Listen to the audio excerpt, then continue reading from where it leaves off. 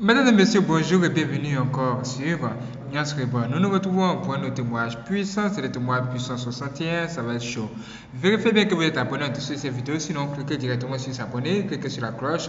Si vous êtes touché, laissez un j'aime tout simplement, c'est gratuit. Rentrons donc dans un témoignage vraiment mystique, extraordinaire. Préparez-vous parce que là, des choses nous seront révélées. Vous allez faire attention et même vous allez prier avant de manger une quelconque nourriture. Parce que ce qui va se passer ici, ça va être chaud. Let's go. J'ai été affecté par le grand prêtre de la confrérie sorcier pour opérer dans un buisson derrière le bâtiment de parlement. En effet, l'endroit était isolé et les gens y passèrent rarement. C'était mon champ d'action. Ce lieu fut transformé en un lieu de destruction des hommes et de femmes qui manquaient Jésus-Christ dans leur vie, étant donné que j'avais la capacité de me métamorphoser. Je t'ai supposé séduire les hommes et des femmes qui passaient près de ce buisson, et pour les attirer, j'étais investi avec un grand pouvoir de séduction. Je pouvais me transformer en un homme ou une femme, de toute race, toutes les tailles, dès le moment où un homme ou une femme passait ou s'approchait de ce buisson derrière le Parlement, un de mes démons compagnons qui me soutenait, se mettait à lire ses pensées afin de déterminer sa préférence et son aspiration. Quoi Ce démon qui en lui, lui révèle des informations sur la personne qui se trouve en face. Ça veut dire ce que ça veut dire. Ça veut dire que nous sommes véritablement dans un monde contrôler. Le monde est comme une prison gigantesque. Allons-y plus loin. Tenait, se mettait à lire ses pensées afin de déterminer sa préférence et son aspiration. Les démons lisaient le pensée de la personne pour savoir quel genre des femmes et sa préférence. Une fois qu'il déterminait les préférences de l'homme ou de la femme, il m'informait pour que je puisse prendre la forme du genre de femme ou d'homme que la personne préférait. Je prenais alors la forme de l'homme ou de la femme qui était sa préférence pour le séduire et l'attirer. Mes frères et sœurs, si vous aimez les femmes, c'est pas mauvais. Mais ne dites jamais j'aime les femmes de grande taille, de ceci, de cela, parce que toutes les informations que vous donnez seront après réutilisées contre vous. Faites attention. C'est la même chose avec euh, votre nourriture préférée. Ne dites pas aux gens, franchement, moi j'aime telle nourriture, le hamburger, le chicken burger, comme ceci, comme cela, avec du piment pimenté. Si un ennemi vous recherche, il va passer par votre nourriture préférée pour tenter de vous avoir. Mes frères et sœurs, faisons attention parce que quand nous parlons, nous sommes écoutés aussi par les démons qui sont même plus nombreux sur la terre que nulle part ailleurs. Allons-y plus loin, mes frères et sœurs, ça va être chaud. Je prenais alors la forme de l'homme ou de la femme qui était sa préférence pour le séduire et l'attirer. En m'envoyant dans cette mission, le grand prêtre m'avait dit, une fois que vous avez réussi à séduire et attirer un homme, vous allez sucer son organe sexuel avant de le transformer en un chèvre. What? Ça veut dire que la fellation, c'est une pratique mystique. Mais combien de personnes savent que la fellation, c'est mystique? Mais regardez vous-même, écoutez, vous-même vous n'avez pas bien entendu. Écoutez encore, écoutons, vous allez voir les conséquences. En voyant dans cette mission, le grand prêtre m'avait dit, une fois que vous avez réussi à séduire et attirer un homme, vous allez sucer son organe sexuel avant de le transformer en un chèvre. Vous avez entendu? Vous avez entendu? Pourquoi elle doit sucer? C'est parce que à l'intérieur, elle va prendre quoi? Forcément quelque chose la foi sur votre étoile sera prise directement par cette action-là. Et vous allez voir, quand on va vous transformer après à une à une chèvre, c'est qu'il n'y a plus rien de bon en vous. Donc vous êtes prêt maintenant pour le sacrifice.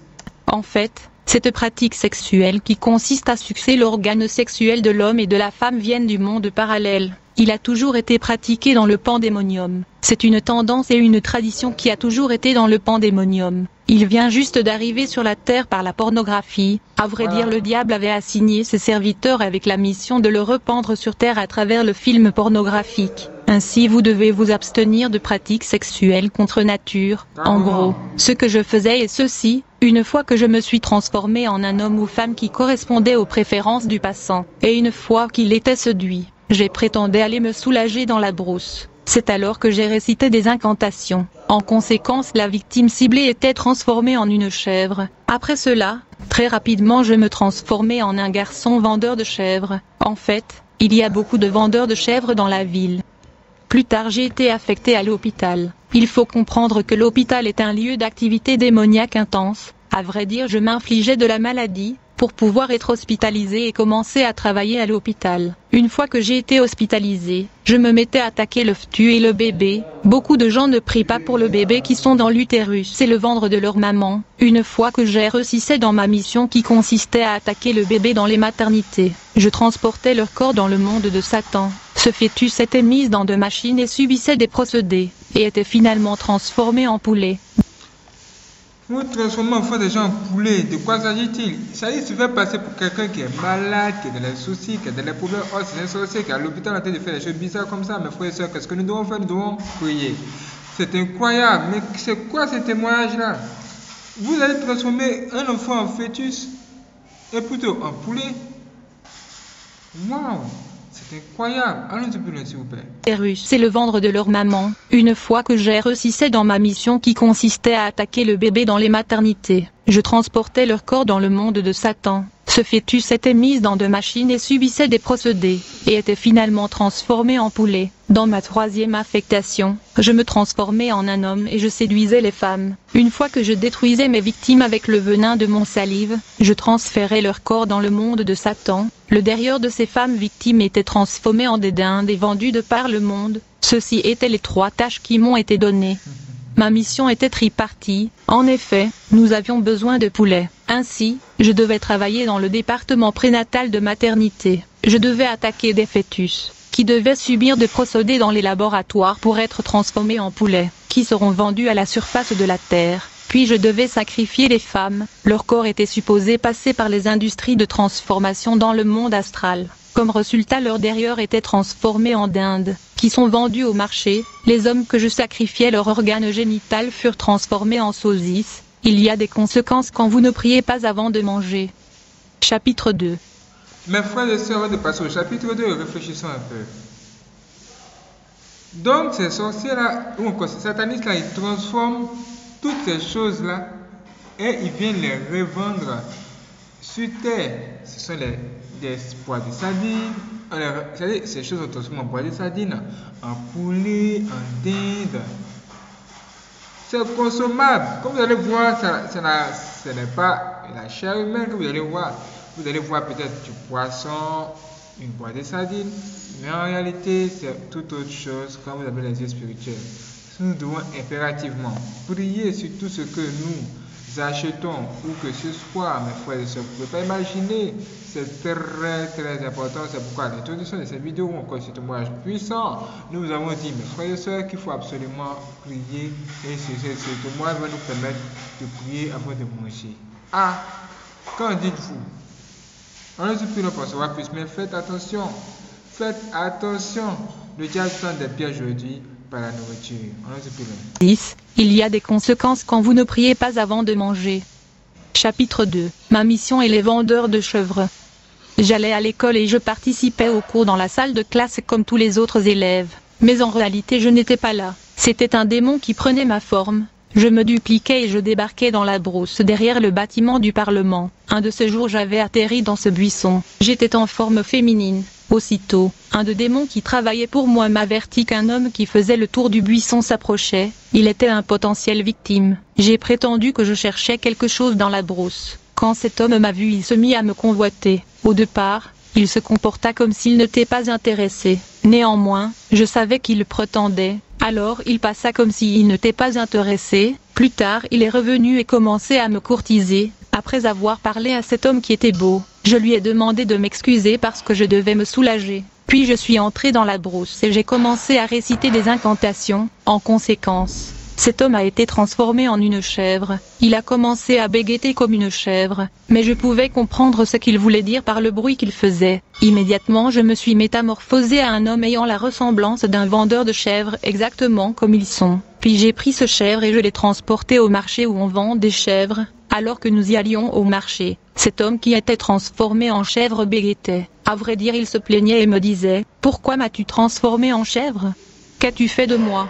Alors qu'il se plaignait je pouvais comprendre ses bégaitements, mais les l'homme ordinaire dans ce marché ne pouvait qu'entendre ces bruits. Il ne pouvait pas comprendre ses bégaitements. J'ai pris ce chèvre et je l'ai vendu à un homme qui était devenu mon client. Je lui apportais deux à trois chèvres par semaine. Pourtant ces chèvres étaient des humains que j'avais transformés en bétail. Et ces bétails étaient décapités dans ce marché, mais quand ils étaient sur le point d'être décapités ils suppliaient ces commerçants de ne pas les décapiter, seulement un sorcier ou un sataniste qui pouvait le comprendre, mais ces commerçants qui étaient des hommes naturels ne pouvaient pas le comprendre, et donc quand ces chèvres étaient sur le point d'être décapitées, ils suppliaient les gens qui les achetaient de ne pas les décapiter, mais ces gens ne pouvaient pas les comprendre, moi je les entendais suppliant et essayant d'expliquer qu'ils étaient des humains, j'étais le seul qui les comprenait, mais ces hommes ordinaires ne pouvaient pas comprendre la signification des bruits qu'ils faisaient. Après cette opération, je devais retourner dans mon corps dans la salle de classe. Un jour alors que je revenais vers mon corps à l'école, j'ai vu un homme qui se rapprochait de la brousse. Je fus informé par des démons qu'il était un victime potentiel. Ainsi, je suis retourné dans la brousse. Alors que j'étais dans la brousse, je me suis transformé en mécanicien. Ensuite j'ai rejoint le monsieur qui était notre cible, et j'ai offert de lui aider en résolvant le problème de sa voiture. Enfin je lui ai dit que je devais me soulager. Dès que je suis entré dans la brousse, j'ai commencé à réciter des incantations. Je me suis transformé en une femme qui avait les formes et la taille de sa préférence. Quand le diable veut vous tenter, il vous enverra une dame de votre choix. La sorte de femme que vous aimez fantasmer, il va essayer de déterminer quelle est votre préférence et ce que vous aimez. De ce fait, quand une femme ou un homme vient dans votre vie, vous devez demander au Seigneur si c'est sa volonté. Même si l'homme ou la femme correspond à vos préférences et aux qualités que vous aimez, votre Père spirituel doit être associé à votre décision.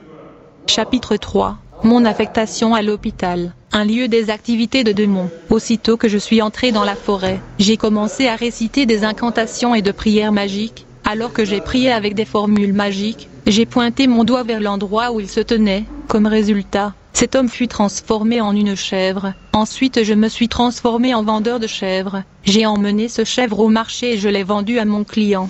Puis je suis retourné dans la brousse, quand soudainement j'ai vu deux personnes dans mon champ d'opération dans la brousse. Mais j'ai remarqué que l'un des deux hommes brillait intensément. Je veux dire son étoile brillait de façon éclatante. J'étais inquiet et je me demandais si je réussirais, car cette étoile brillait, et j'étais curieux. Immédiatement je suis entré en contact avec les esprits de la forêt qui habitaient dans ce brousse. Je leur ai demandé au sujet du statut spirituel de l'homme dont le toile brillait. Ils m'ont rassuré qu'il n'était pas un chrétien né de nouveau, et que je ne devrais pas m'inquiéter, tout ira bien. Il y a des gens qui ont de grandes et brillantes étoiles, mais parce qu'ils n'ont pas Jésus-Christ dans leur vie, ils ne sont pas protégés. Alors que les deux hommes passaient près de ce brousse qui était mon champ d'action, j'ai appelé mon mari l'esprit marin nommé Saphir. Il est venu en forme d'une femme de peau clairiant de grosses fesses, pour séduire l'un d'entre eux. Quand elle a débarqué, ces deux hommes qui étaient déjà envoûtés ont commencé à l'envier. Ils étaient enchantés par sa beauté, ils ont tous deux commencé à la courtiser, elle a proposé d'être leur petite amie. En revanche, les deux hommes ont commencé à se disputer pour elle. Alors qu'ils discutaient et se débattaient sur qui sera son petit ami, ils furent tous deux transformés en chèvres. J'ai Meuf, meuf, et se débattaient sur qui sera son petit ami. Ils furent tous deux transformés en chèvres. J'ai pris les deux chèvres et je les ai emmenés au marché. mes frères et sœurs, est-ce que vous entendez ce qui est en train de se passer? Les gens aiment les femmes, femmes ici, femmes ici. Tu les vois, oh, les femmes, je vais avoir deux femmes, trois femmes, quatre femmes aujourd'hui. hein. Alors que ce sont des c'est une sorcière même, ou encore une sorcière qui s'est transformée en une femme qui est devant vous, qui se prépare même à vous transformer en chef pour aller vous commercialiser et vous, on va vous sacrifier. Lui, c'est son business, il gagne de l'argent là-dedans. Quand quelqu'un gagne de l'argent dans un truc, il va continuer à le faire parce qu'on n'est jamais satisfait hein, de l'argent. On veut toujours en avoir et on veut en avoir de plus en plus, en grande quantité. Imaginez combien de sacrifices vont se produire lors de ce témoignage. Ça veut dire, mes frères et sœurs, qu'aujourd'hui, nous devons vraiment très, faire très très très très attention. C'est pas tout ce qui brille que de l'or. Tu vois quelqu'un, c'est un homme ou c'est une femme. Toi, tu cherches un mari. Pas parce qu'il est beau, il a l'argent, tu vas te sauter sur la sauce ou encore te sauter sur le gibier. Il faut demander à Dieu de te révéler réellement quel est l'état d'âme de la personne qui se trouve devant toi. Dieu veut nous sauver aujourd'hui, Dieu veut nous aider aujourd'hui, je pense, parce que là, ça devient grave. hein. Ce que nous sommes en train d'attendre, mes frères et sœurs, c'est incroyable. Qu'en pensez-vous? Réagissez dans la partie commentaire. J'aimerais savoir ce que vous en pensez. Sinon, laissez un j'aime et c'est parti pour le témoignage. Ça ne fait que commencer. Let's go.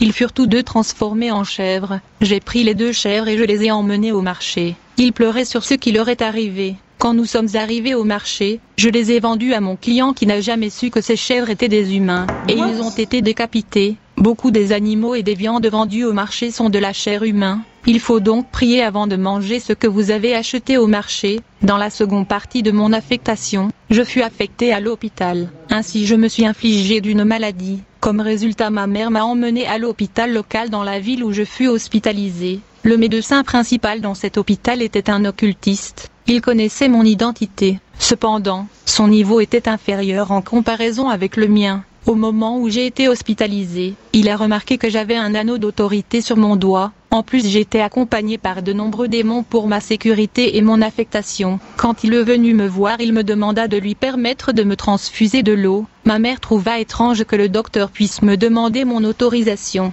Elle dit au docteur, pourquoi demandez-vous cela? Ne voyez-vous pas que le malade Elle ne pouvait pas comprendre que c'était par respect dû à ma position spirituelle? Ce jour-là quand il faisait nuit, moi et le docteur nous avons plongé tout le monde en une profonde sommeil. Ensuite nous sommes sortis de nos corps et nous avons commencé à dialoguer à propos de ma mission. Le médecin me dit, j'étais informé de votre arrivée en avance, et de votre affectation. Alors dites-moi, combien des âmes avez-vous besoin? En effet j'ai 130 enfants ici. Je lui ai répondu que j'avais besoin d'un sacrifice de 100 âmes. Il me demanda, comment allez-vous procéder? Je lui demanda de m'amener le livre de l'hôpital et je vais signer leur mort. Bien aimé, les gens qui étaient sans Jésus dans cet hôpital sont morts progressivement, d'une façon ou d'une autre. Vous devez comprendre que les hôpitaux sont des endroits où il y a des activités démoniaques. Chapitre 4 La mort victime de la sorcellerie. Après avoir capturé des âmes dans cet hôpital, je fus affecté de détruire ma tante qui était une cible du monde infernal, elle fut infligée avec une maladie d'origine mystique. Ma famille les mena à des différents hôpitaux de la ville, mais vu que c'était une maladie mystique, il n'y avait aucun moyen pour le médecin de le diagnostiquer et de la guérir. Seulement le nom de Jésus-Christ qui aurait pu la guérir. Plus tard, la grand-mère sorcière qui était responsable de cette maladie les mena à l'église. Elle savait très bien que le pasteur de cette église était un sataniste. Par ailleurs, quand un homme devient la cible du monde de Satan, immédiatement il sera marqué sur son front avec le sceau de la mort, ceci afin de notifier à tous les sorcières et satanistes qu'il est scellé pour le sacrifice et la destruction. Il y a comme ça des gens qui marchent dans la rue avec la marque de la mort sur leur front, parce qu'ils sont programmés et scellés pour la destruction et le sacrifice. Alors, aussitôt que la famille emmena ma tante à l'église, le pasteur qui était occultiste remarqua la marque de la mort sur son front. Le pasteur savait qu'il avait affaire à une femme qui était condamnée à mort par les sorciers. Malgré le fait que le pasteur savait qu'elle devait mourir dans le sacrifice humain, il lui demanda tout de même de commencer une série de jeûnes et prières,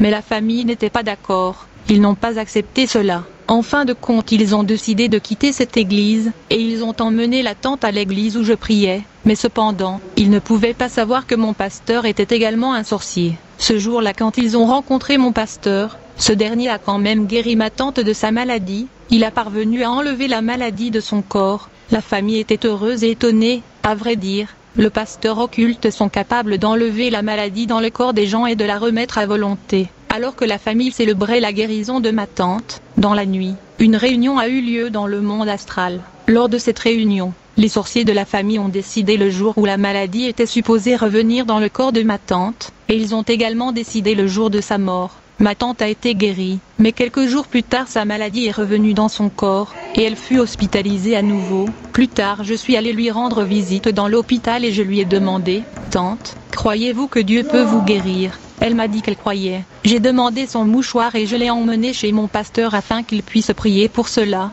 mais mon pasteur était aussi un occultiste. Quand je suis arrivé dans notre église, je l'ai trouvé en réunion avec d'autres dirigeants de l'église. Je fus instruit d'attendre. Aussitôt je suis sorti de mon corps et je suis entré dans la réunion pour discuter avec le pasteur. J'ai dit au pasteur je n'ai pas le temps, mais j'ai besoin de vous. Vous devez prier pour le mouchoir de ma tante afin qu'elle soit guérie. Le pasteur qui était aussi sorti de son corps me dit, ta tante a été scellée pour le sacrifice, vous le savez très bien. Elle est condamnée à mort et elle va mourir. J'ai dit au pasteur, je veux juste que tu mettes de l'huile sur ce mouchoir. Le pasteur mit de l'huile dans le mouchoir de ma tante et je suis retourné à l'hôpital afin de loindre. Mais elle n'était pas guérie. Quelques jours plus tard, une cousine qui était une chrétienne tiède est venue la rendre visite. Cette cousine prophétisait, mais ses prophéties étaient fausses. Quand elle est venue visiter la tante, je suis sorti de mon corps et je suis entré dans son corps. Ensuite j'ai commencé à prophétiser par sa bouche. J'ai déclaré de mensonges par sa bouche. J'ai dit à ma tante, ainsi dit le Seigneur, vous serez guéri et votre santé va s'améliorer. Mais je savais que ma tante allait mourir ce jour-là même dans la nuit. Plus tard j'ai dit à ma mère, l'Esprit Saint a dit à mon pasteur que la tante va mourir ce soir. En raison de ceci il vaudrait mieux pour elle de mourir dans la maison d'un autre parenté que chez nous. Enfin j'ai convaincu ma mère d'amener ma tante à la maison de sa petite sœur. Plus tard, ma mère est allée prendre un taxi sur le boulevard, afin que nous puissions transporter la tante vers sa petite sœur. J'ai vu ma mère venir avec un taxi, mais le chauffeur de ce taxi et son assistant étaient des démons physiques. Ma mère ne pouvait pas savoir que ces chauffeurs étaient des démons. Ma mère les a donné l'adresse de sa sœur. Ces démons ont transporté ma tante vers la maison de sa petite sœur en second. Ils ont conduit le véhicule mystiquement. Le lendemain, nous avons eu la nouvelle de sa mort, qui était déterminée dans le rassemblement des sorciers. Le cadavre fut emmené à la morgue de l'hôpital où mon grand-père travaillait. Une fois que le corps de ma tante fut transporté à l'hôpital, une réunion de sorciers fut convoquée à la morgue. Elle était tenue par des sorciers de la famille. J'ai quitté mon corps et j'ai voyagé vers la morgue de l'hôpital. La réunion était sur la façon dont les parties du corps de la victime sera de partager entre les sorciers présentement dans la réunion. Le débat était de savoir qui va manger la jambe et les mains. Deux personnes étaient censées de partager la poitrine. Après cela, il y avait funérailles. L'esprit de ma tante qui était mort assistait aux funérailles et observait tout mais ne pouvait pas se communiquer avec les vivants. Alors que les gens pleuraient et étaient en deuil, la victime essayait de se communiquer avec les vivants. En fait, elle tentait de nous accuser, mais personne ne le coûtait, car il n'y a pas de communication entre le mort et le vivant. Elle disait à la famille, Voici les gens qui m'ont tué, ils sont là. Faites quelque chose. Elle essayait de nous exposer, mais personne ne pouvait l'entendre, elle ne pouvait pas établir le contact avec les vivants. J'étais dans ce funérail qui était également assisté par des sirènes des eaux, qui sont venues physiquement assister à ce funérail, qui était transformé à une fête de sorciers. Mes frères et sœurs, c'est incroyable. Des démons encore, des créatures qui sont censées rester dans le monde de Satan encore dans le monde des esprits, viennent carrément nous visiter dans notre monde. Mais pourquoi, mes frères et sœurs? C'est parce qu'ils veulent que notre monde devienne le leur. Mes frères et sœurs, c'est pas de la blague, c'est pas de la science-fiction. Et tout ce que nous découvrons ce soir, aujourd'hui, dans ce témoignage, ça en dit long sur ce qui se passe réellement dans ce monde. Les humains sont sacrifiés.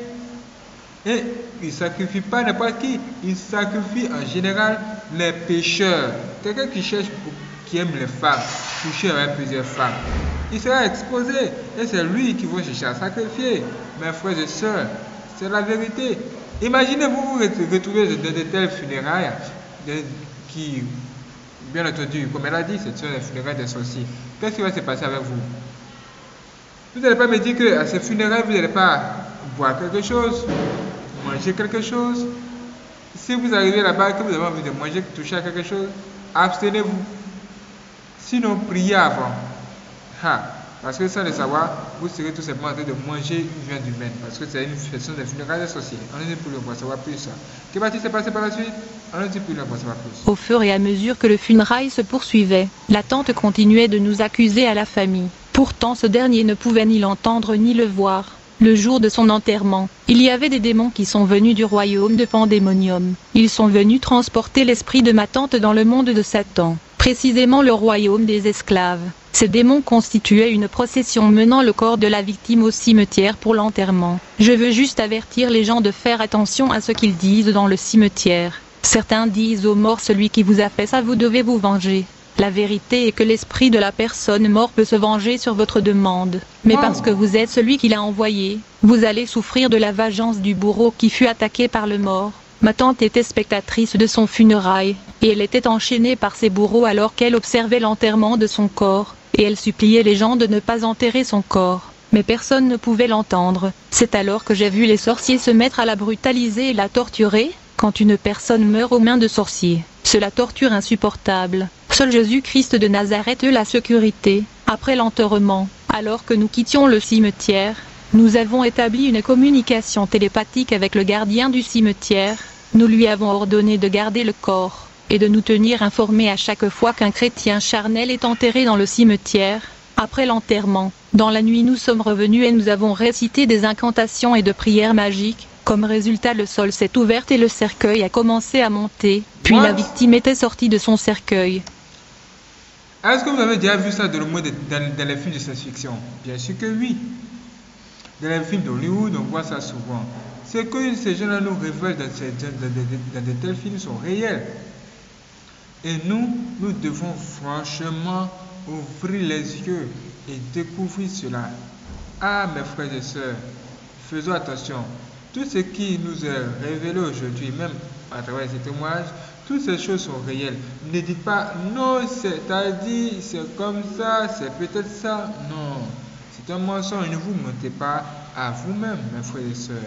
Croyez et croyez, croyez. Le sol s'est ouvert et le cercueil a commencé à monter, puis la victime était sortie de son cercueil. Enfin elle fut transportée au royaume des esclaves pour le travaux forcés. Mais avant cela elle a dû passer par de tortures et le tourment des sorciers. Comprenez que si vous mourrez aux mains des sorciers, vous passerez par une grande torture et une grande douleur, parce qu'ils sont sans cœur et implacables comme les démons. Chapitre 4 La femme du pasteur sacrifiée par son mari. Plus tard, mon pasteur m'appela pour me dire que le diable lui avait recommandé d'offrir sa femme comme sacrifice humain. Le diable lui a dit que les années de sa vie étaient courtes. Une fois qu'il sacrifie sa femme, cela allait prolonger les années de sa vie. Grâce aux années de la vie de sa femme, sa vie allait être prolongée. Le pasteur m'appela afin que je puisse l'aider à exécuter l'opération de la destruction de sa femme. À vrai dire, le pasteur m'a demandé de la tuer. En conséquence, je suis allé provoquer un accident de la route qui a tué sa femme. Quand la nouvelle de la mort de sa femme lui est parvenue, il était dans l'église en train de prêcher. Il était content d'avoir accompli sa mission. Aussitôt qu'il a reçu la nouvelle de la mort de sa femme, il dit à l'église, Ma femme, la servante du Seigneur, vient d'avoir un accident, et est mort, que l'église se levait prie pour elle. Ceci était juste une formalité pour lui. Il savait que c'était fini pour sa femme. Mais c'était quand l'église priait que Jésus-Christ est descendu pour confondre le pasteur. En effet, Jésus est allé sauver sa femme qui était dans le coma. La Bible dit, la prière de la foi sauvera le malade et le Seigneur le relèvera. Priez les uns pour les autres, afin que vous soyez guéris. La prière fervente du juste a une grande efficacité. Et quand le pasteur a appris que sa femme était sortie du coma, il ne pouvait pas l'accepter. Il est devenu confus et mal à l'aise. En conséquence, ses ennuis avec le royaume de Lucifer commença. Il était harcelé à cause du sacrifice qu'il était supposé offrir. C'était sa vie qui était en jeu. Chapitre 5 Un pasteur dans la ville et les prodiges. Un jour, j'ai été invité prestation et des signes.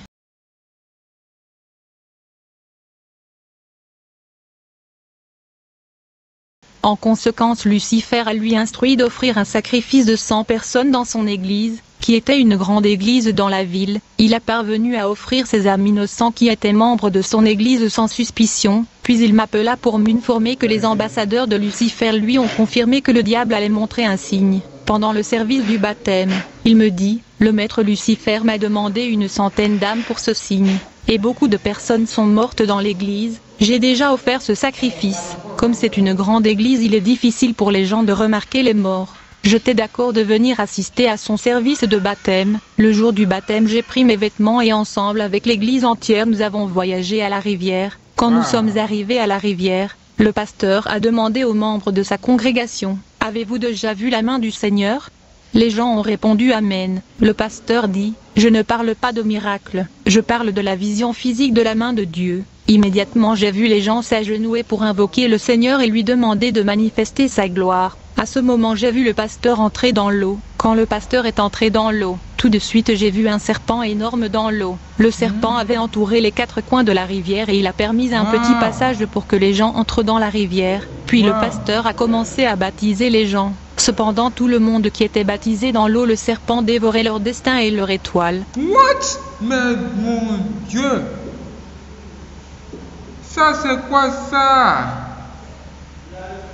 Le serpent dévorait leur étoile et les destins. Est-ce que vous avez entendu ce que j'ai entendu là? Non, non, non, non, revenons encore. Comment j'ai vu le pasteur entrer Je parle de la vision physique de la main de Dieu. Immédiatement j'ai vu les gens s'agenouiller pour invoquer le Seigneur et lui demander de manifester sa gloire. À ce moment j'ai vu le pasteur entrer dans l'eau. Quand le pasteur est entré dans l'eau, tout de suite j'ai vu un serpent énorme dans l'eau. Le serpent avait entouré les quatre coins de la rivière et il a permis un petit passage pour que les gens entrent dans la rivière. Puis le pasteur a commencé à baptiser les gens. Cependant tout le monde qui était baptisé dans l'eau, le serpent dévorait leur destin et leur étoile. Eh Seigneur Jésus-Christ. Les gens cherchent Dieu, ils sont les soucis. Ils cherchent Dieu, ils vont dans les églises et voici que tombent sur des personnes de Dieu sorciers. Écoutez, tous ceux qui vont se faire baptiser sont dans les problèmes. Au lieu d'aller te faire baptiser pour devenir une nouvelle personne, tu vas te faire baptiser pour devenir une ancienne personne. Une personne à problème. Un pas va dévorer ton étoile. Qu'est-ce que ça va te donner après? Des soucis. Et toi-même, tu ne sauras même pas que c'est ce baptême que tu as eu là qui t'a plongé dans de telles situations. Mes frères et sœurs, mes frères et sœurs, nous devons nous lever dans la prière aujourd'hui et demander à Dieu de nous révéler l'état d'âme de ceux avec qui nous sommes, de ceux qui nous entourent. Parce que le diable a infiltré l'église de Dieu. Aujourd'hui, Satan, il est en train de travailler pour conduire l'humanité tout droit au désastre. Franchement, ça, c'est incroyable. Ça, c'est quoi son corps? Ça me touche personnellement. Hein. Si je vous dis que ça ne me touche pas, c'est faux. Parce que je sais que dans les églises, il y a beaucoup d'hommes qui cherchent Dieu de tout leur cœur, de toute leur mais ils sont dans les endroits où ils sont perdus. Que Dieu nous délivre aujourd'hui. Cependant tout le monde qui était baptisé dans l'eau le serpent dévorait leur destin et leur étoile, tandis que le pasteur baptisait ses gens. Certains voyaient l'arc-en-ciel, certains voyaient une main énorme tenant une plume. Toutes les photos qui ont été prises dans ce service de baptême avaient une énorme main au-dessus de l'eau. Les nouvelles de ces manifestations étaient répandues dans la ville. La main me tenant une plume. Toutes les... Certains voyaient l'arc-en-ciel et baptisaient les gens. Cependant tout le monde qui était baptisé dans l'eau le serpent dévorait leur destin et leur étoile, tandis que le pasteur baptisait ces gens. Certains voyaient l'arc-en-ciel, certains voyaient une main énorme tenant une plume. Toutes les photos qui ont été prises dans ce service de baptême avaient une énorme main au-dessus de l'eau. Les nouvelles de ces manifestations étaient répandues dans la ville. Est-ce que vous avez déjà vu ça? Franchement, je n'ai pas encore vu. Je vais faire des recherches là-dessus. C'est possible qu'on fasse une autre vidéo là pour ça. Si vous n'êtes pas abonné, cliquez directement sur s'abonner et cliquez sur la cloche pour l'activer. Et franchement, faites attention. C'est ce que je peux vous dire pour le moment. Faites attention.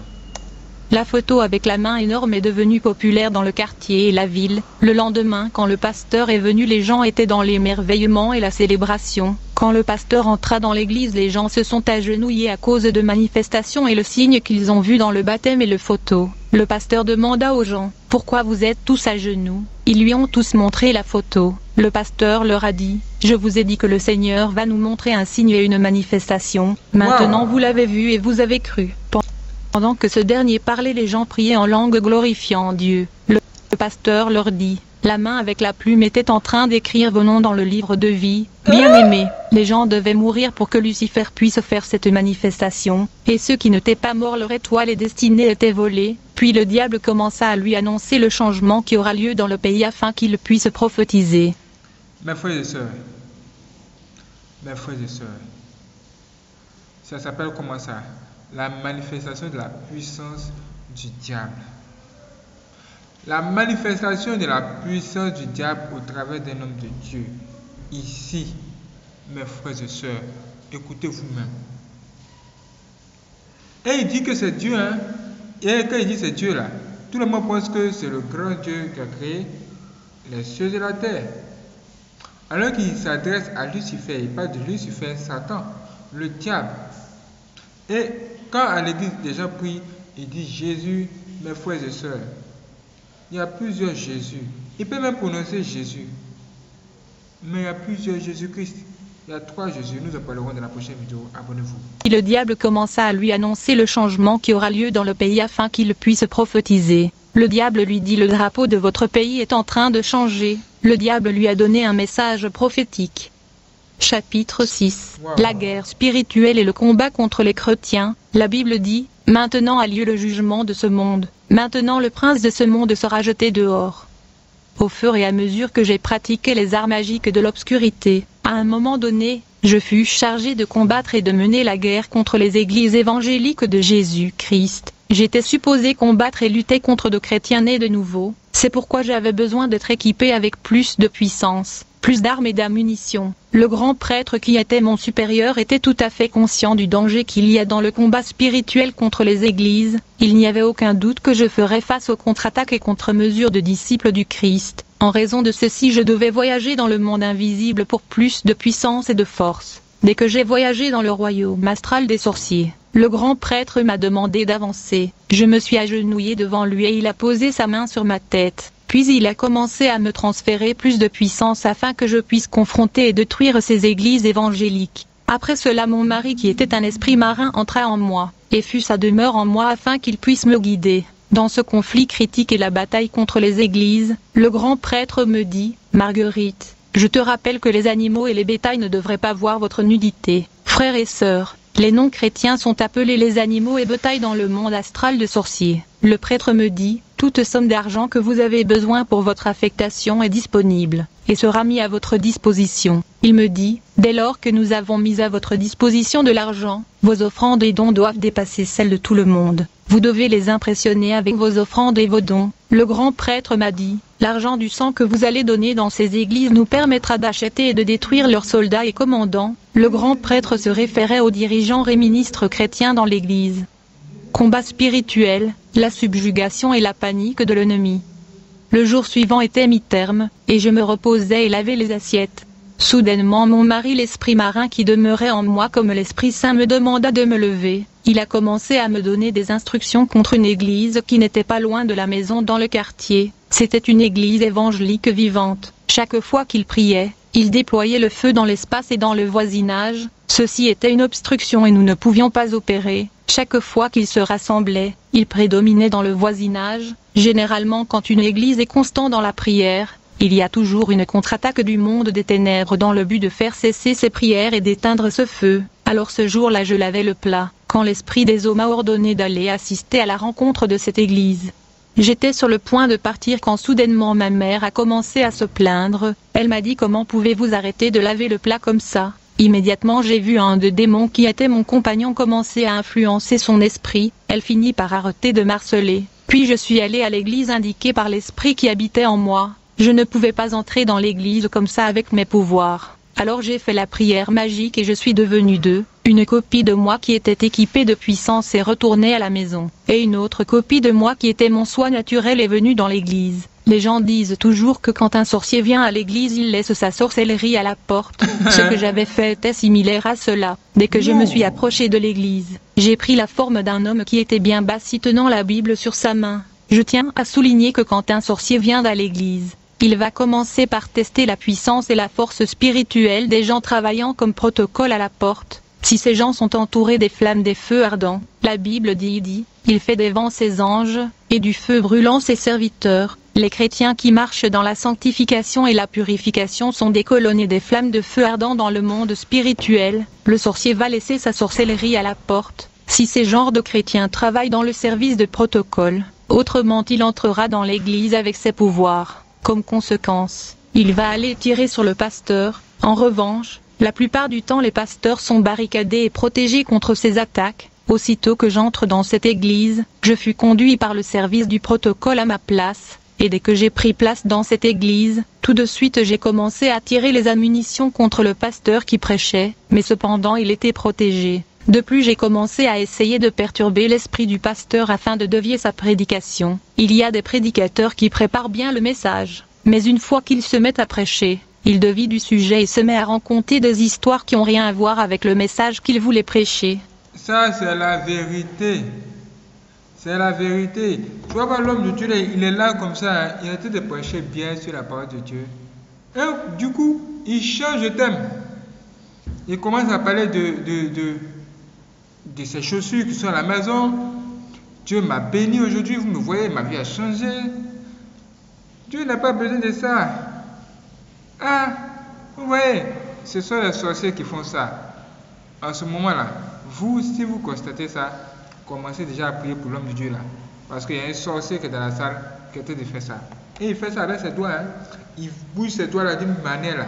Et il, tourne la langue de cet homme de Dieu là pour que ce dernier puisse parler d'autres choses que ce que Dieu lui-même lui a confié. Ou encore ce que Dieu lui a demandé de, de, de dire. Mes frères et sœurs, c'est comme ça. Il y a des prédicateurs qui préparent bien le message, mais une fois qu'ils se mettent à prêcher, il devient du sujet et se met à raconter des histoires qui ont rien à voir avec le message qu'il voulait prêcher. Dès que j'ai commencé à attaquer l'esprit du prédicateur afin de confondre son esprit et dévier sa prédication, quelque chose se passa. Le pasteur arrêta sa prédication et dit à l'assistance, il y a une force sinistre et maléfique opérationnelle dans l'Église, nous allons tous nous lever et nous allons prendre autorité. Le pasteur dit au service des protocoles, vous devez fermer la porte avant que nous commençons la prière de guerre spirituelle. Quand le pasteur a dit cela, j'ai paniqué et j'étais devenu effrayé. J'ai immédiatement fait semblant d'aller aux toilettes. Aussitôt que je suis entré dans la toilette, je me suis débarrassé de l'esprit de la sorcellerie. Quand l'esprit de la sorcellerie m'a quitté, j'étais maintenant devenu comme un humain ordinaire sans puissance. Très rapidement, je suis retourné à la salle de l'église. Dans ces conditions, leur prière ne pouvait pas m'affecter, dans la mesure où mes ammunitions ne pouvaient pas plus atteindre le pasteur, et comme je ne pouvais pas perturber sa prédication, enfin j'attendais le temps de l'offrande pour lancer la dernière stratégie contre ce pasteur. En effet, je suis venu à cette église avec 50 dollars, qui était l'argent du sang qui m'a été remis par le monde astral. Afin de détruire cette église, dans ce quartier il y avait la pauvreté. Personne ne pouvait se permettre une offrande de 5 dollars. Quand il était temps d'offrir à Dieu, le pasteur regardait attentivement chaque homme et chaque femme s'avançant pour offrir. Comme Jésus l'avait fait dans le temple, le pasteur savait qu'il y avait une force de ténèbres active dans l'église ce jour-là, alors que les gens donnaient des offrandes. Je me suis levé et j'ai placé 50 dollars dans le panier d'offrandes. Quand je suis allé m'asseoir immédiatement le pasteur se leva et dit à l'assemblée, quelqu'un a placé de l'argent du sang dans le panier d'offrandes. Il doit comprendre que Dieu l'a vu et il peut le frapper avec précision là où il est assis. Je me suis dit en moi, Comment ce pasteur peut-il savoir tout ce que je fais dans cette église? Pendant ce temps, les gens se demandaient qui pouvait mettre de l'argent du sang dans le panier d'offrande. Quand le service avait fini, je suis allé dans la rue dans un endroit isolé et j'ai fait de prières magiques. Comme résultat, j'ai récupéré mon pouvoir magique et l'esprit de la sorcellerie. Immédiatement, je suis entré à la maison. Dès que j'ai allumé le téléviseur, qui a été transformé en un miroir interdimensionnel me permettant de voir le monde des esprits, y compris la dimension physique. Je regardais la télévision afin de voir ce que l'Église ferait de mon argent de sang. En fait, au cas où le pasteur et l'Église utilisaient mon argent il allait avoir transfert de puissance. Comme conséquence il serait sous notre contrôle et domination. À vrai dire ils perdraient leur puissance. Alors que je regardais le diacre compter l'offrande de l'Église, j'ai vu le pasteur séparant mon argent de celui des autres. Après avoir séparé mon argent de celui des autres membres, il dit, Au nom de Jésus-Christ je mets le sang de Jésus-Christ sur cet argent qui est programmé pour nous détruire. Quand le pasteur était en train de prier, je sentais comme si sa prière était ciblée contre moi. Soudainement j'ai vu des éclairs de l'écran me frapper intensément. Après avoir prié pour l'argent, le pasteur a pris cet argent du sang pour aller le donner aux orphelins. À ce moment je me suis levé et j'ai commencé à faire la prière magique. Comme résultat l'argent a disparu et je le récupéra. Quelques minutes après je reçois un appel du monde astral des sorciers. Le grand prêtre m'a ordonné de ne plus fréquenter cette église, je lui ai demandé pourquoi. Il a insisté que je ne devrais plus y aller car c'était très dangereux. Mes frères et sœurs, ici il est face à un vrai homme de Dieu qui a les yeux spirituels ou encore qui écoute le Saint-Esprit, qui écoute ce que Dieu lui dit. Quand vous êtes homme de Dieu là, sachez immédiatement que hum, vous êtes un ennemi de Satan. Ça, on peut dire que c'est normal. Mais sachez que le diable vous étudie et il cherche les voies de moyens pour venir vous atteindre. Il sait que les gens aiment l'argent, en particulier les hommes de Dieu. Mais ici, que va-t-il se passer avec cet homme de Dieu? Cet homme de Dieu va écouter la voix du Saint-Esprit. C'est-à-dire cette puissance que Dieu va mettre en lui va lui permettre de faire quoi? Dominer le pouvoir satanique qui se trouve en, l'argent. Une fois qu'il s'est fait, vous allez voir. C'est ce qui a fait, permis à cet homme de Dieu de détecter facilement, vu que lui-même, il avait pris le dessus sur la cupidité, sur l'amour de l'argent. Est-ce que vous voyez? C'est ce qui peut permettre de faire ça. Ça veut dire que quand un homme de Dieu reçoit de l'argent, il doit tout de suite mettre à l'esprit que, soit c'est Dieu qui lui donne, soit c'est le diable qui vient d'envoyer. Et lui, il doit commencer à activer son esprit de discernement, activer cet esprit de discernement afin que Dieu puisse lui révéler réellement provient chaque agent afin qu'il puisse tout simplement prier en conséquence. Parce que prendre de l'argent de quelqu'un, c'est pas mauvais. Mais si cette personne est mal intentionnée, elle peut lancer la malédiction sur vous. Donc il faut faire un retour à l'envoyeur dans la prière. Vous faites la même prière que cet homme de Dieu. Vous avez entendu temps que moi. Dites tout simplement au Seigneur Jésus-Christ de renvoyer la malédiction à celui-là même qui a envoyé cette puissance-là au travers de cet agent pour vous déstabiliser. Et Dieu va le faire à votre faveur. On le supplie, vraiment puissant. Je lui ai demandé pourquoi. Il a insisté que je ne devrais plus y aller car c'était très dangereux. À vrai dire, j'avais l'orgueil et l'arrogance qu'ont le sorcier dans leur cœur. En effet, les sorciers pensent qu'ils sont spéciaux et supérieurs. Je me suis dit, ces gens m'ont tellement humilié, ils ne devaient pas s'en tirer comme ça. Chapitre 7 De fait, échec et humiliation dans le conflit spirituel.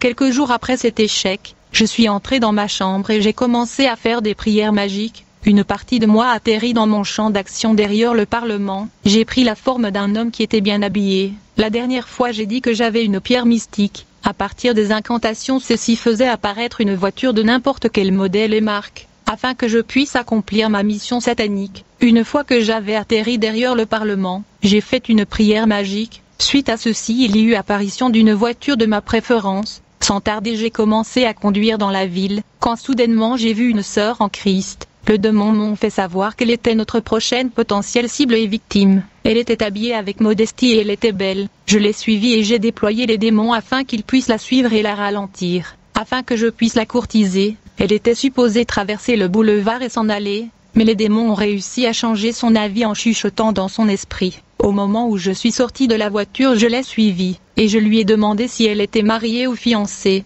Elle m'a répondu qu'elle n'est pas mariée. Je lui ai demandé pourquoi. Elle me dit qu'elle attendait le temps de Dieu. Puis je lui ai dit, je viens juste d'arriver de l'Europe. Je suis ici pour chercher une femme et faire une famille parce que les femmes en Europe sont difficiles. La sœur me dit, donnez-moi le temps de prier là-dessus. Je lui ai répondu, Dieu ne prendra pas cette décision pour vous. Immédiatement la sœur me dit, Monsieur, au nom de Jésus-Christ tu retournes d'où tu viens. Quand cette dame a prononcé le nom de Jésus-Christ immédiatement j'ai senti la chair de poule sur tout mon corps. En dépit de ceci, je t'ai déterminé, les sorciers n'acceptent pas la défaite et l'échec, ils sont persistants et ils n'abandonnent jamais. Alors j'ai suivi cette dame. Quand elle a remarqué que je continuais à la suivre, elle me dit, Au nom de Jésus-Christ tu retournes d'où tu viens. Puis je me suis arrêté. Bien que je l'ai laissé partir, j'ai quand même recueilli les empreintes de pieds de cette dame sur le sol. Ensuite je suis retourné à mon champ d'action derrière le Parlement. J'ai commencé à faire des incantations et de prières magiques pour la contrôler et la manipuler. Pendant que je faisais de prières d'incantations et de formules magiques, du coup le sable qui contenait les empreintes de pieds de la dame se transforma en flamme de feu,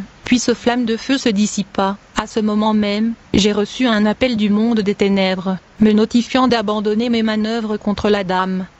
Mes frères et sœurs, cette femme-là, c'est une femme chrétienne. Elle prie Jésus-Christ.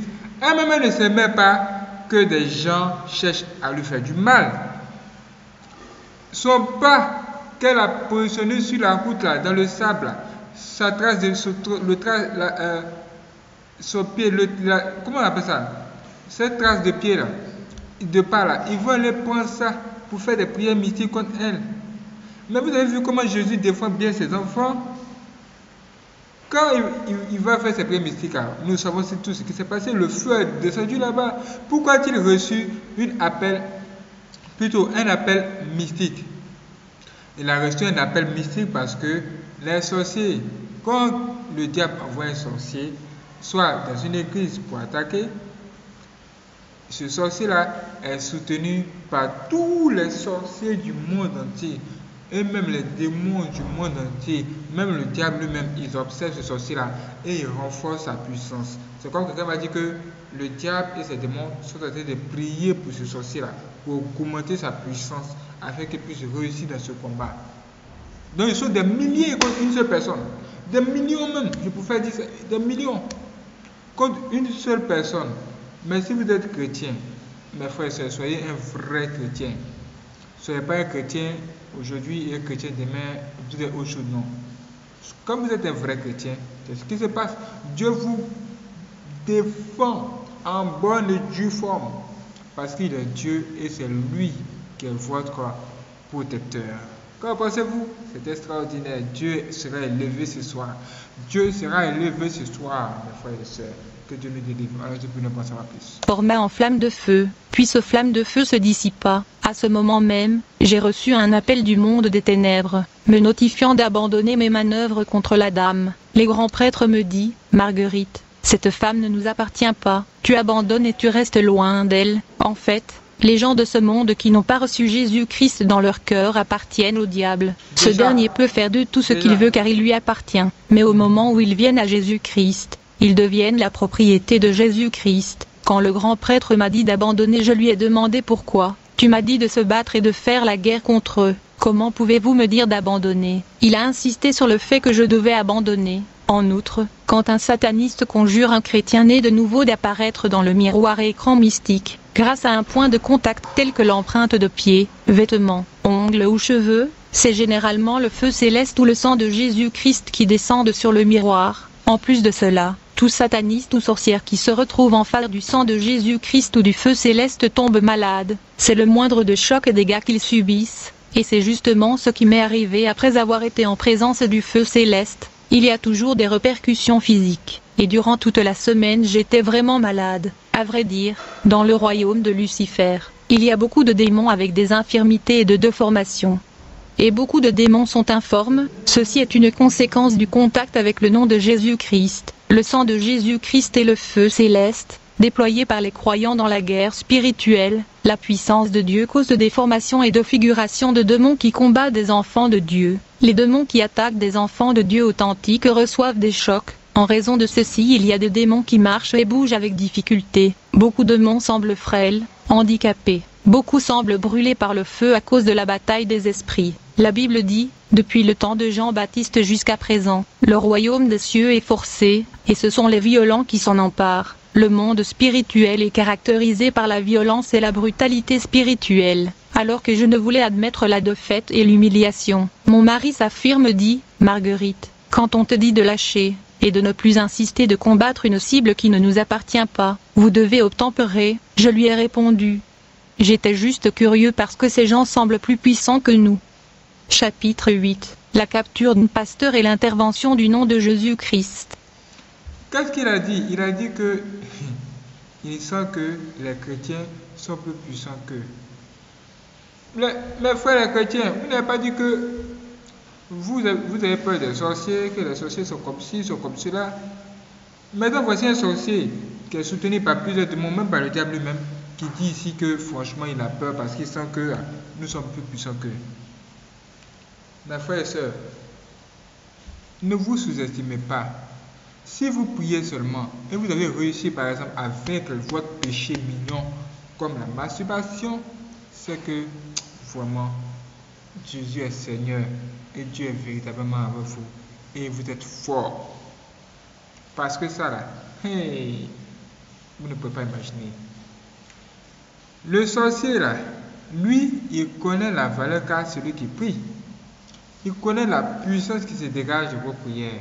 C'est pourquoi Dieu lui-même vous dit chaque jour, priez sans cesse. Parce que vous ne savez même pas d'où l'attaque va venir. Mais ça viendra toujours, ça viendra quand même. Mes frères et sœurs, mes frères et sœurs, aujourd'hui, Dieu nous parle pour nous dire de ne pas nous sous-estimer. Nous avons de la valeur.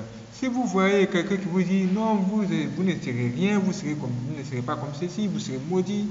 Mes frères et sœurs, votre étoile brille, c'est pourquoi je vous dis ça. Foncez avec le Seigneur Jésus-Christ. Dieu va transformer cette parole de malédiction en bénédiction pour vous. Jésus est Seigneur, suivons-le et nous allons voir des grandes choses dans notre vie. Si et seulement si on ne pêche pas et on a la crainte de Dieu en obéissant et en mettant sa parole en pratique. Je lui ai répondu. J'étais juste curieux parce que ces gens semblent plus puissants que nous. Chapitre 8 La capture d'un pasteur et l'intervention du nom de Jésus-Christ. Alors que je continuais ma bataille contre les églises, j'ai visité une église dans la ville, et j'ai donné une offrande de 100 dollars de l'argent du sang. Le pasteur était impressionné. Par conséquent, il a annoncé que je devrais lui rencontrer après le service. Plus tard le pasteur m'a remercié pour l'offrande. Je lui ai dit que je n'hésiterais pas à soutenir l'œuvre de Dieu à cause de ce qu'il avait fait pour moi. Remarquez que je dis Dieu, non pas Jésus-Christ. Je parlais à ce pasteur, quand j'ai remarqué que sa femme murmurait, à cause du fait que ma conversation avec son mari se prolongeait, mais dès que j'ai ouvert mes yeux spirituels, j'ai remarqué qu'elle ne t'ait pas été couverte du flamme de feu, qui couvre les chrétiennes authentiques. Dans ce condition, j'aurais pu la détruire si je le voulais. Il y a de chrétiens charnels qui sont sans flamme de feu, et qui sont vulnérables dans le combat spirituel. J'ai dit au pasteur l'église manque des instruments je veux que vous me donniez le coût et l'estimation de tous les instruments dont vous avez besoin. Le pasteur était débordé de joie d'attendre ceci. Puis un frère qui était diacre dans cette église m'a donné l'estimation de 3000 dollars. Par la suite j'ai visité le pasteur à son domicile, il était torse nu et en short, jeté séduisant, alors qu'on parlait il me convoitait. Sans tarder le pasteur proposa de me marier, je lui ai demandé s'il n'avait pas une fiancée, il me dit qu'elle était bavard, alors qu'on dialoguait le pasteur a commencé à me toucher et me caresser partout. Je faisais semblant de refuser ses avances. Ensuite nous avons commencé à faire de tire-langue. Alors qu'on faisait de tire-langue, j'ai commencé à faire la prière magique. En conséquence, en un clin d'œil j'ai transporté ce pasteur au royaume de Satan. Au fait, j'ai fait disparaître le pasteur de la surface de la terre, et nous avons atterri dans le monde astral de sorciers. Le pasteur avait atterri dans une cellule de prison. Il avait des chaînes sur ses pieds, sur sa main et sur son cou comme un esclave. Après la réussite de ce mission, j'ai laissé le pasteur en prison dans le royaume infernal de Satan. Mes frères Et je suis revenu sur la terre. Mais, hé Jésus, oh mon Dieu. Parce qu'il a vu une femme qui donne l'argent, qui donne l'argent. En même temps, elle est belle. Vous pensez que le diable, il n'est- pas, il n'a pas. On dit il est malin. Le diable, on dit c'est un malin. Il va venir il va venir chez vous au moment où vous serez en sous-vêtements. Maintenant, ce qui me fait rire, c'est que cet homme de Dieu-là, comme il a vu une belle femme, il va maintenant dénigrer sa femme ou encore sa fiancée. Et il dit que, ouais, elle bavarde beaucoup.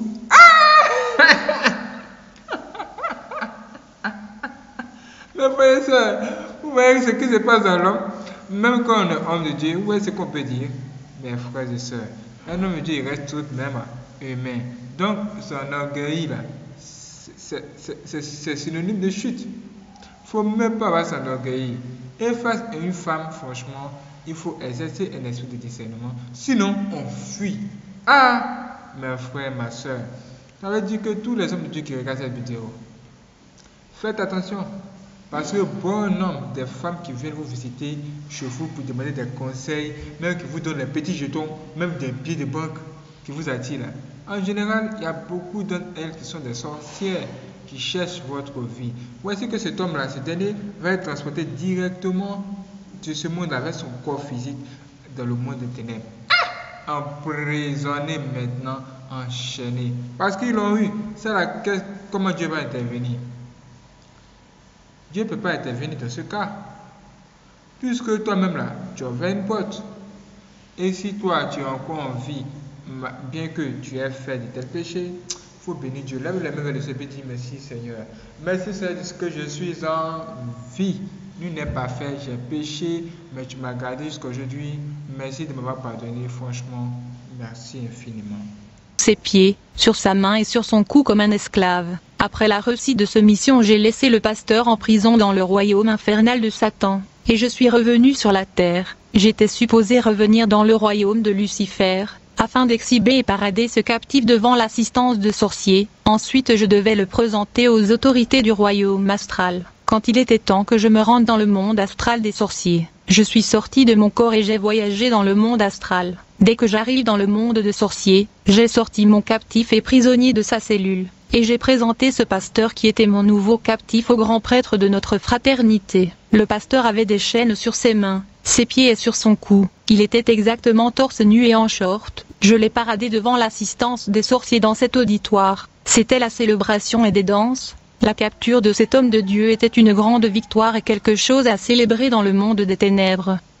Il y avait une foule de sorciers qui dansaient, rigolaient et célébraient dans cette salle. Ils se moquaient du pasteur qui était défilé comme un esclave avec des chaînes. C'était fou. Puis le grand prêtre se leva et commença à s'adresser au public. Il dit à l'assistance, Nous avons finalement capturé une vache. Les gens ont répondu avec rigolade et moquerie. Puis le grand prêtre m'a dit, Félicitations Marguerite. Vous faites un excellent travail. Puis il dit à l'assistance, Notre maître Lucifer reste aussi heureux comme je le suis, que notre maître Lucifer puisse donner plus de pouvoir à Marguerite pour qu'elle nous apporte des vaches. Des hommes de Dieu authentiques sont appelés vaches dans le monde astral, parce qu'ils sont chers, et il y a une récompense pour quiconque peut le capturer. Enfin le temps arriva pour exécuter et décapiter la vache. Soudainement nous avons remarqué que le pasteur qui était à moitié réveillé répétait des mots que nous ne pouvions pas entendre. Il se parlait, je me demandais ce qu'il disait, en fait les captifs dans ce monde ne sont pas autorisés à parler, à moins qu'on ne leur dise de le faire. C'est ainsi que le pasteur était fouetté alors qu'il parlait,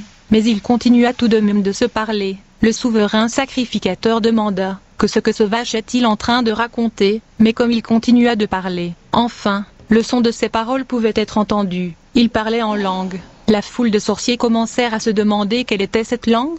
Le pasteur continua de parler en langue, mais personne dans le monde des ténèbres ne pouvait le comprendre. Nous regardions tous cette captive parlant une langue inconnue. Le grand prêtre demanda encore une fois, que raconte cette vache? Bien, voyons voir ce qu'il va faire. Alors que le pasteur continuait de parler, du coup il prononça le nom de Jésus-Christ. Aussitôt il y eut une explosion de feu. Mes frères et sœurs, cet homme de Dieu a péché devant Dieu, mais pourquoi appelle-t-il Dieu encore Comme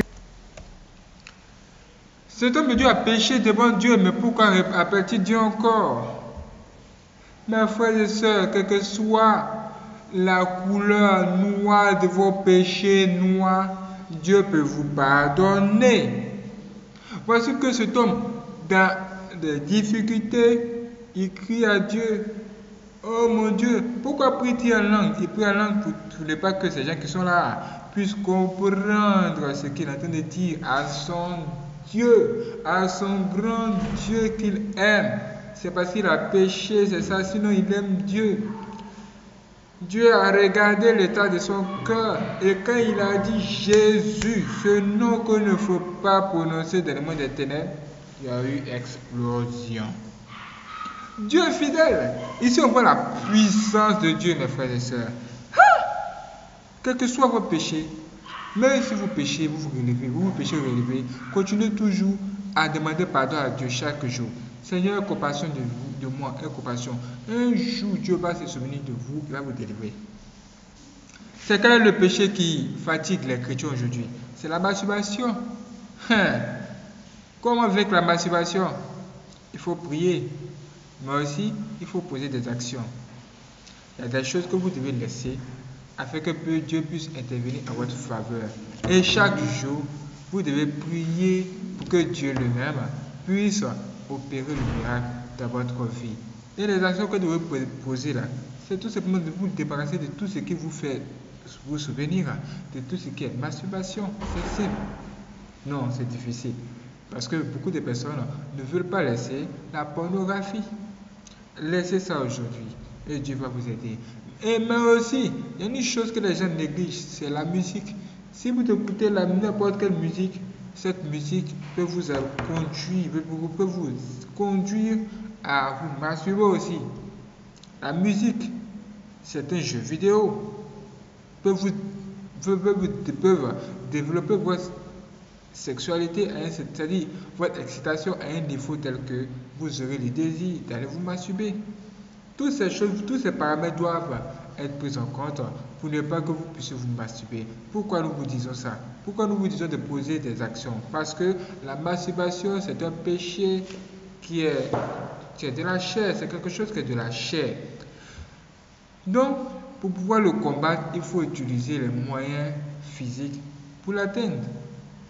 Évitez tout simplement le péché et toujours répondez-vous, invoquez Jésus-Christ. Seigneur Jésus-Christ, s'il te plaît, interviens aujourd'hui à ma faveur. Dans toute dimensions, interviens à ma faveur et délivre-moi. Dieu va le faire. Cet homme de Dieu a invoqué Dieu alors qu'il était emprisonné dans le monde des ténèbres, alors qu'il venait de pécher. En principe, il doit mourir parce que le salaire du péché, c'est la mort.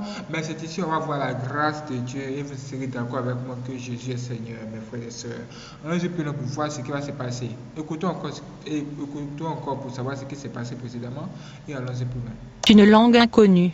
Le grand prêtre demanda encore une fois, que raconte cette vache Bien, voyons voir ce qu'il va faire. Alors que le pasteur continuait de parler. Du coup il prononça le nom de Jésus-Christ. Aussitôt il y eut une explosion de feu, comme le détonation d'une bombe. En conséquence, il y avait un de bandade. Chacun courait pour sauver sa vie. Dans cette explosion et détonation, il y avait le feu et la fumée. Dans cette deux bandades les gens couraient de partout. C'était sauve qui peut. Alors que les gens couraient j'ai remarqué que le pasteur avait disparu de la cage dans laquelle il était détenu. Dans le royaume de sorciers les captifs sont gardés dans des cages, comme des animaux, mais le pasteur n'était plus dans sa cage, à cause de la mention du nom de Jésus-Christ. Après cet incident, tout le monde dans le royaume astral de sorciers était en colère contre moi. Le bombardement, le détonation et le déferlement généré par le nom de Jésus-Christ étaient terribles, dangereux et fatal. Chapitre 9 Mes frères, avant de passer au chapitre 9, s'il vous plaît. Vous avez vu, quand cet homme-là a prier et il a dit au nom de Jésus-Christ. Quand tu pries là, il faut dire au nom de Jésus-Christ, il faut dire Jésus seulement? À la fin de ta prière, au commencement, au milieu, où que, que tu veux, il faut dire Jésus seulement? Toi, mais tu vas voir. Je vous parle de quelque chose. Ici, il y a un nom qui est plus puissant que tout autre nom, même le nom du diable, c'est le nom Jésus. Ce nom-là, c'est... Comment vous l'expliquer? C'est comme une bombe atomique. Dans le monde des sorciers, et tous les démons, ils savent ça. Ils le savent. Parce que Dieu a mis une puissance terrible dans ce nom-là.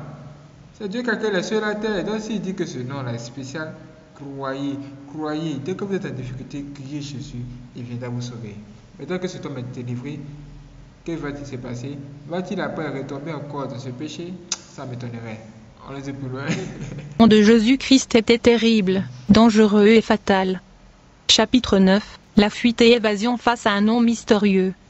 En outre, j'ai continué mon combat contre les églises Jésus-Christ et les hommes de Dieu. J'ai visité une autre église dans la ville, mais quand je suis arrivé à la porte, j'ai remarqué que les gens qui faisaient le protocole étaient couverts de flammes de feu. En conséquence, j'ai dû laisser ma sorcellerie à la porte à l'extérieur de l'église. Quand je suis entré dans l'église, j'ai remarqué une femme qui était une cible potentielle. Elle était parmi les gagneurs d'âmes qui me recevaient après la prière. Dès qu'ils ont fini de me recevoir, j'ai continué à dialoguer avec la sœur à côté. Je lui ai expliqué que je voulais l'épouser. Sans tarder, elle alla informer son leader, qui se mit à me questionner. Toutefois, ce dernier me permit de parler à la sœur. Je marchais et discutais avec la sœur dans la rue. Puis on s'est convenu de se revoir. On se fixa un rendez-vous. Le jour J, on se revut quelque part dans la ville, alors qu'on sillonnait la ville et on dialoguait. Je lui ai dit que je voulais me reposer dans un hôtel de la place parce que j'étais fatiguée. La sœur me demanda, Tu ne vas pas me toucher si je t'accompagne? Je lui ai donné ma parole. Quand nous sommes allés à l'hôtel, j'ai fait semblant de dormir. Comme j'étais accompagnée par des centaines de démons, ils ont réussi à la faire dormir, et alors qu'elle dormait j'ai commencé à faire des incantations pour la plonger dans un profond sommeil. Après cela j'ai fait une prière magique, pour obtenir plus de détails sur elle. Une fois que j'ai eu ces détails, j'étais sur le point de commencer à faire des incantations afin de la détruire. Quand soudainement cette sœur se réveilla et me dit, au nom de Jésus-Christ, ceci arriva si vite était en un clin d'œil, dès qu'elle prononça le nom de Jésus-Christ, j'ai disparu de cet endroit et j'ai atterri à la maison. En outre, la rencontre avec le nom de Jésus-Christ était le début d'une longue maladie. J'étais malade durant toute la semaine.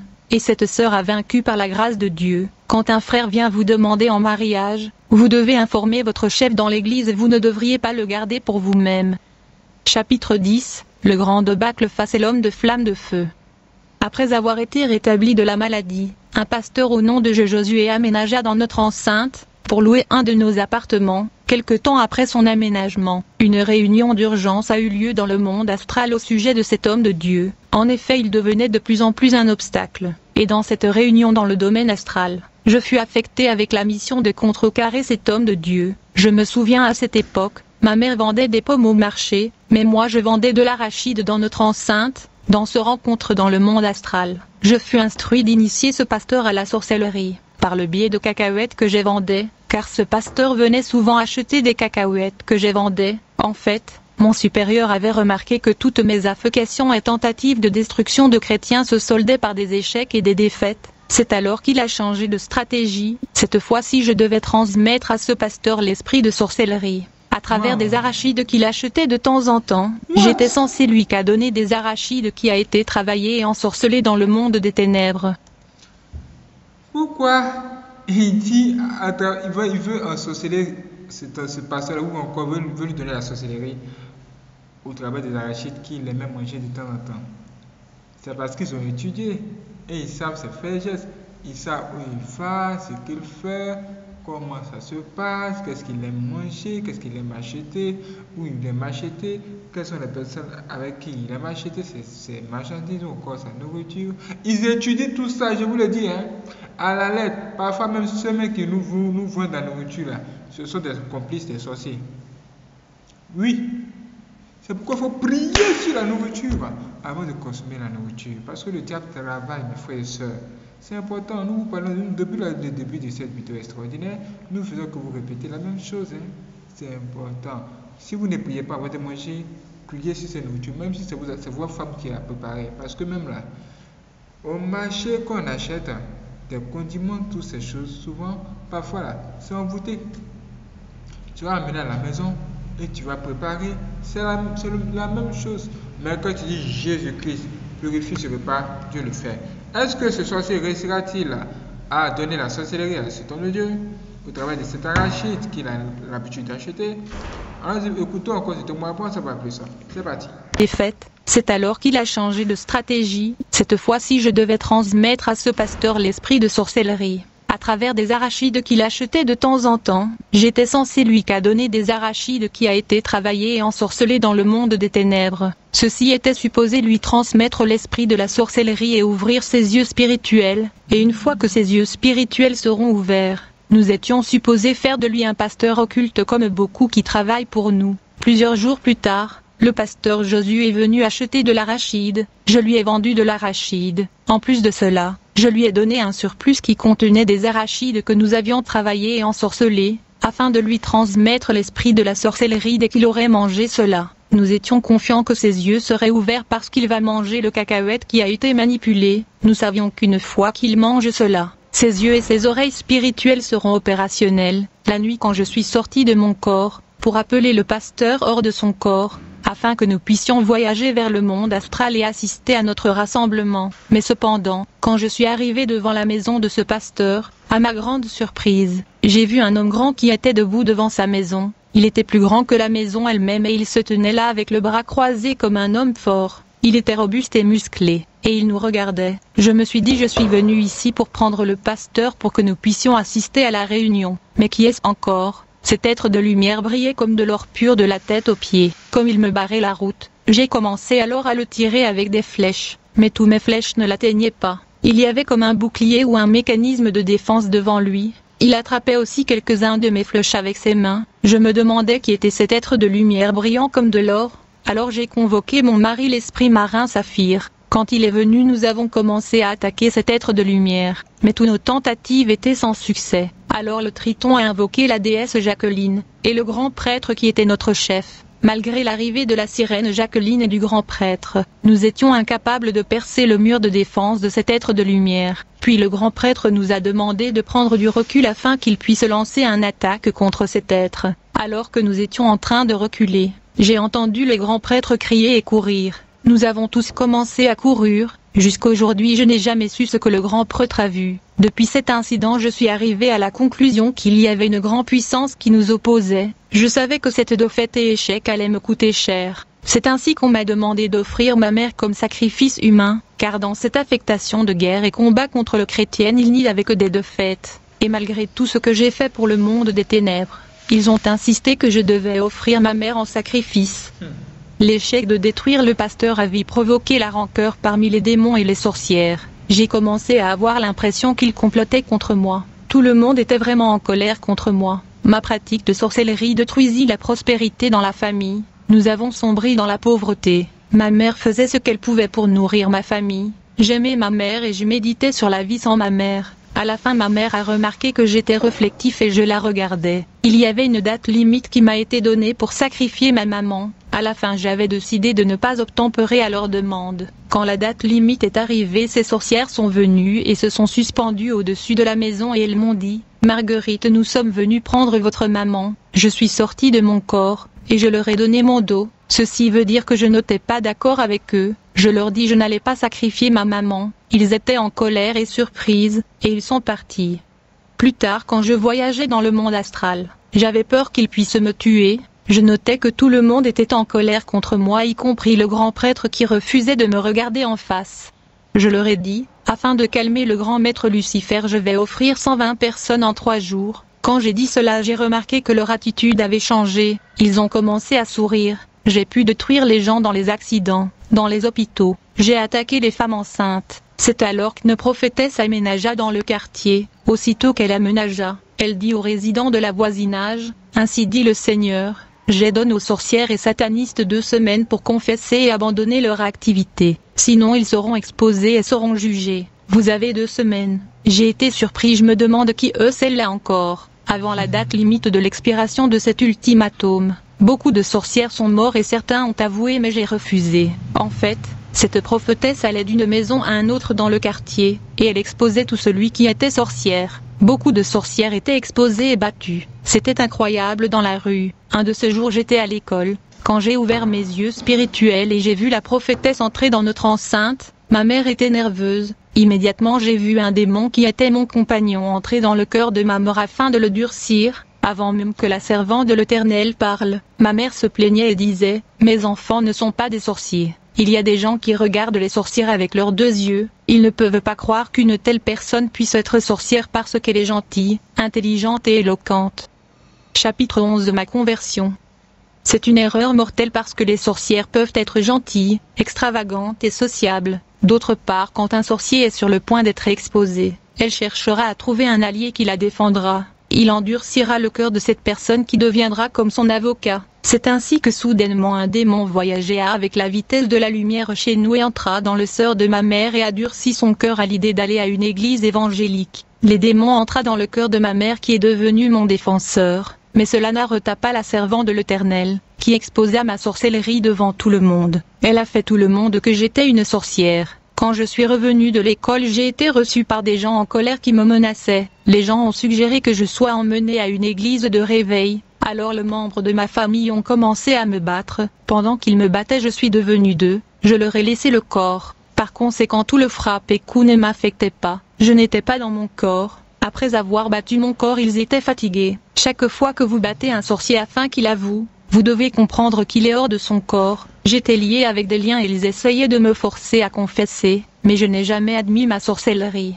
D'autre part dans le monde de sorcières ils menaçaient de me tuer, parce qu'ils voulaient que je sacrifie ma mère et la date limite qui m'était donnée avait expiré. À la fin j'ai dit à un ami, j'aimerais voir ton pasteur, car je veux abandonner la sorcellerie. Plus tard lorsque je suis allé à l'église pour rencontrer son pasteur, j'ai dit en moi, je veux tester ce pasteur et voir sa puissance. S'il passe ce test alors je veux rester dans cette assemblée pour la délivrance. Mais pour le moment soit ce moi ou lui qui a le pouvoir supérieur. Quand je suis arrivé à l'église, j'ai remarqué que les gens qui travaillaient à la porte étaient vides de feu. Quand je suis entré dans l'église, le pasteur a demandé aux gens de se lever pour prier pour moi.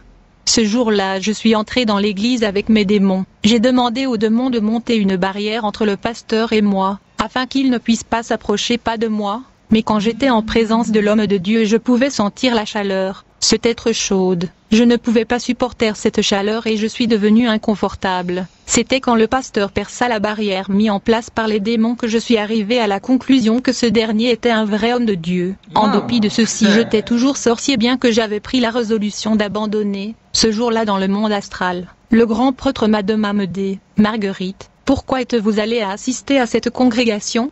Ne savez-vous pas que cet homme est un rebelle à l'égard de notre royaume? Voulez-vous devenir rebelle comme lui? Voulez-vous vous rebeller contre nous?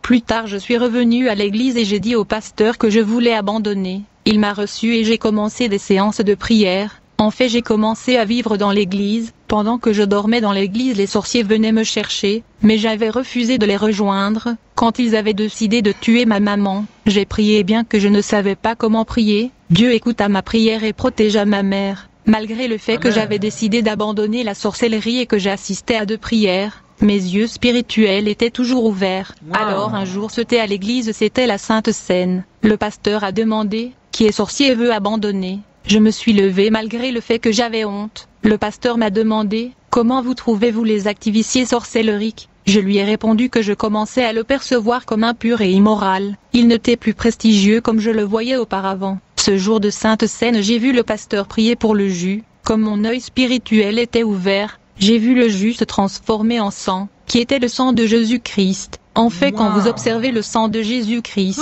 il est toujours couvert et enveloppé du feu ardent. Il est combiné avec le feu. Quand le pasteur Hmm. m'appela de le rejoindre devant, alors que j'avanquais devant, j'avais l'impression qu'il était devenu multiple. En fait, je voyais trois copies de l'homme de Dieu devant. J'étais surpris et je me demandais s'il avait le pouvoir de se multiplier comme moi.